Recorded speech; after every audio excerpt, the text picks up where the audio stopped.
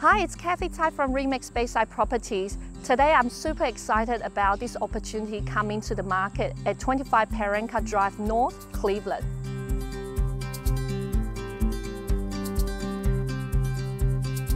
This beautiful home was constructed by the reputable builder Keith Burns for his retirement just over 20 years ago.